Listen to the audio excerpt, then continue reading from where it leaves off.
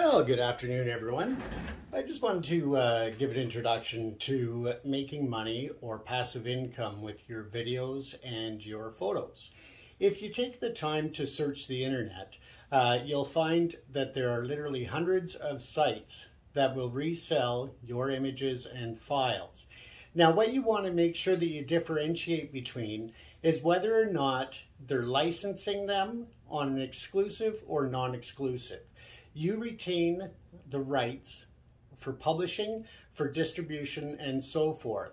Now, exclusive means that you are only distributing through that platform. So, for example, if you are feeding out uh, stringer footage for the media and you upload it as an exclusive to Getty Images, uh, then you want to make sure that you're not uploading to other platforms to resell it.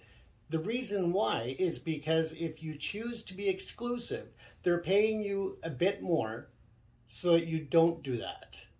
So if you go non-exclusive, then you can distribute to as many platforms as you wish. And there's many out there.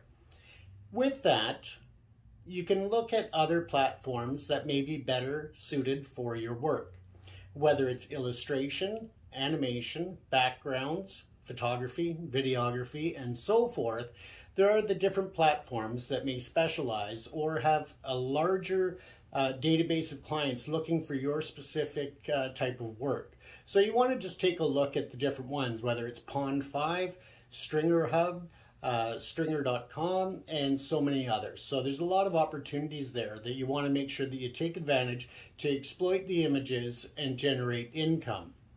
The beauty is that whether you're putting them up on one site or on multiple sites, that you can go ahead and just sit back, let those images bring in income as people license them. They'll use them for different purposes. And with that, some of the sites offer you different rates for different uses, different regional areas. So for example, if a site is looking, a local website is looking for a stock or royalty free image, they're going to get something a bit cheaper than, say, a multimedia company or a movie production house that uses some of your stock footage in a television or, or uh, film production. So these are the different things you want to look at. Over the next few weeks, I'm going to post regular videos and I'll actually take you through a lot of the different websites and show you how easy it is to get set up and also how you get paid for those. So we'll explore the different uh, pros and cons of the different websites and different services and platforms available to you. But right now, what you want to be looking at is making sure that all of your photos and images are properly uh, tagged. Make sure that you have, personally, uh, make sure they do not have watermarks on them. Uh, sites like Pond5 and such, they can watermark them and then that'll be removed when somebody purchases your image or licenses it. Uh, if you do put your uh, watermarks on there ahead of time, then of course it may actually have a detrimental impact on your sales. You can still add tags and your copyright and all of that to the file. However, you can do that behind the scenes and we'll go over that as well. So for now, I hope that uh, this interests you.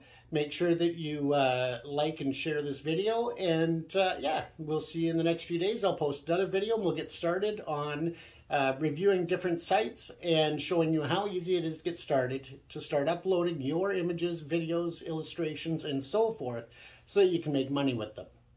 Until that time, take care.